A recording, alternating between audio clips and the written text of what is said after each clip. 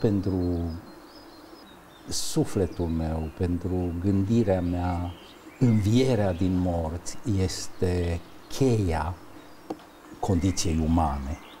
De vreme ce actul artistic pentru mine este închinarea mea, este altarul. Prin uh, procesul de artă eu încerc să învăț eu însumi, nu să dau lecții altora. Astfel, creația mea este uh, o rugăciune